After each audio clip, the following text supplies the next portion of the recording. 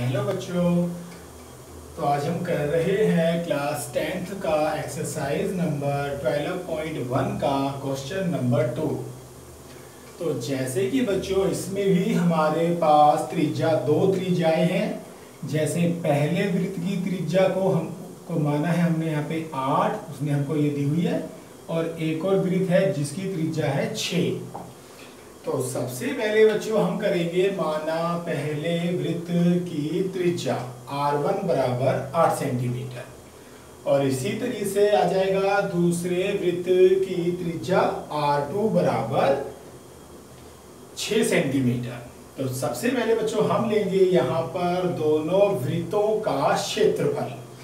तो वृत्त का क्षेत्रफल होता है बच्चों, ये होता है पाई आर स्केयर ये वृत्त का क्षेत्रफल है तो इसमें दो हैं तो इसलिए यहाँ बनेगा पाई आर स्केयर वन और एक बनेगा पाई आर स्केयर टू यहाँ से कॉमन आ जाएगा बच्चों, इसमें से ये पाई और ये पाई कॉमन आ जाएगा यहाँ से और अंदर आ जाएगा आर वन की टू और आर टू की टू यहाँ से कॉमन आ गया।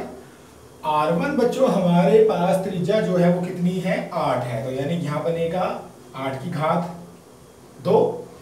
आर टू हमारे पास छ है तो यहाँ बनेगा छ की घात दो। आठ को करेंगे दो बार तो अट्ठू अट्ठू आ जाएगा बच्चों चौसठ। छ को दो बार करेंगे तो छिकम छिकम छत्तीस। चौसठ और छत्तीस का जोड़ करेंगे तो सो पाई आ जाएगा। आगे बच्चों। फिर हमारे पास एक वृत्त और लेना है हमने ये वाला, इसको हम मानेंगे आर।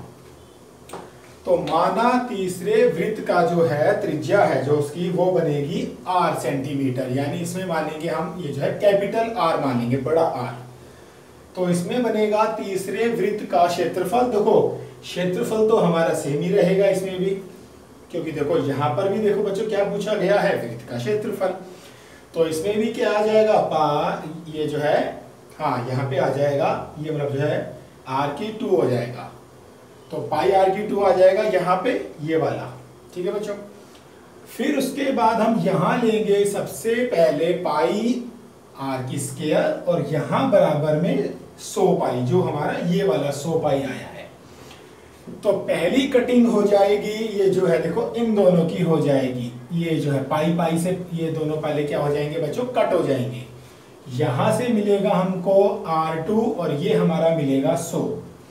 ये दो यहाँ से हटेगा तो इसके ऊपर आ जाएगा बच्चों वर्गमूल।